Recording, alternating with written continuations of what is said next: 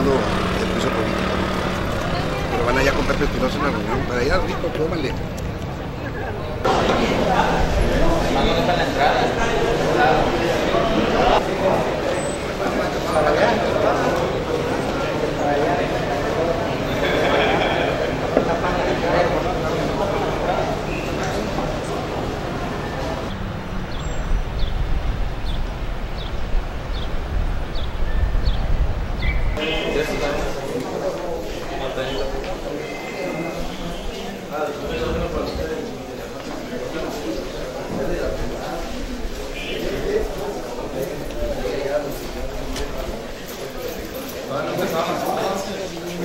Y la idea es platicar hoy el tema que a ellos les preocupa y que fue el motivo de esa manifestación o de esa, de esa acción ahí en el crucero.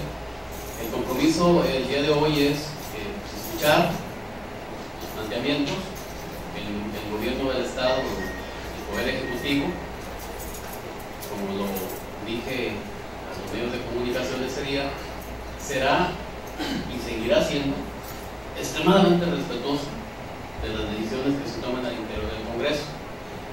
Yo fui una de las personas, soy una de las personas que trabajo mucho para el en Bahía Banderas. Quiero decirlo abiertamente para que sepan que sí tenemos gente, que apoyamos mucho la campaña del señor Roberto Sandoval, y él me conoce muy bien, la licenciada Mónica Saldaña, que fui uno de los movilizadores en Bahía de Banderas. Nada más aclarar que sí venimos de diferentes partidos en esta lucha y esperamos que sí actúen conforme a la ley, que no lo manejen políticamente. Derivado de, de una consigna ¿verdad? que sea derivado conforme al derecho ¿verdad? y que no sea por consigna que se tenga que, que dar palo a esta, a esta demanda que, Para nosotros ha considerado un riesgo el continuar con una administración que no brinda los servicios a la población. Ojalá que los legisladores que nos acompañen y particularmente los responsables de dictaminar esta demanda actúen con independencia y dándole curso pues a esta demanda que me parece eh, totalmente válida y fundada porque al final de cuentas quién va a decidir si se queda o se va el presidente municipal va a ser la ciudadanía al final de cuentas.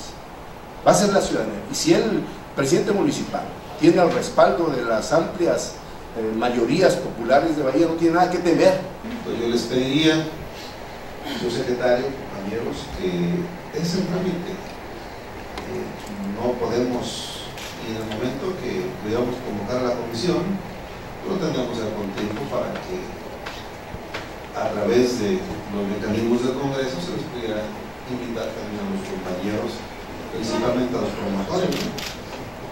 Ese es el estatus que se tiene. Yo con mucho, eh, con mucha atención escucho sus puntos de vista, la demanda que ustedes plantean, que a juicio eh, de ustedes es, es válida.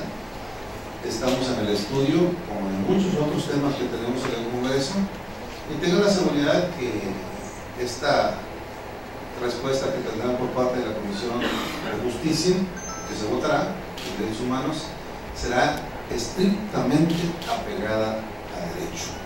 Estrictamente apegada a derecho. Eso sí, no podemos sesgar nosotros como Congreso del Estado, ni violentar lo que es nuestra naturaleza hacer leyes. Entonces tengan la seguridad que en ese sentido se actuará y se dará una respuesta apegada estrictamente a derecho. Thank you.